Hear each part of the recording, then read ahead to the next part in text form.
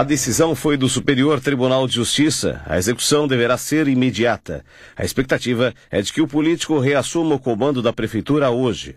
Jairo Jorge deixou uma mensagem nas redes sociais. Hoje é com muita alegria, com muita emoção, que eu quero te informar que a sexta turma do STJ, o Superior Tribunal de Justiça, decidiu por unanimidade o meu retorno imediato ao cargo de prefeito de Canoas, cargo que eu fui eleito. É uma honra para mim ser eleito na cidade que eu nasci, a cidade que eu amo. Não foi fácil, meu amigo. Foram 130 dias de espera, são 492 dias de afastamento. Eu sofri muito.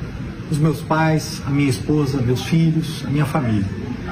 Mas, a partir de tudo que eu vi, das pessoas, das mensagens que eu recebi, eu sei que os canoenses sofreram. O vice-prefeito Nedir Vargas, que comandou a prefeitura durante o afastamento de Jairo Jorge, também se manifestou.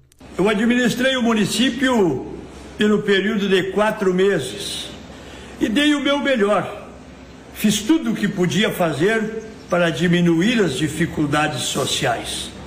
Indiscutivelmente, uma cidade do tamanho da nossa, com a população elevada, com as dificuldades que nós enfrentamos, com os problemas que o nosso povo enfrenta no dia a dia, é preocupante essa alternância no poder. A decisão da sexta turma do STJ foi unânime.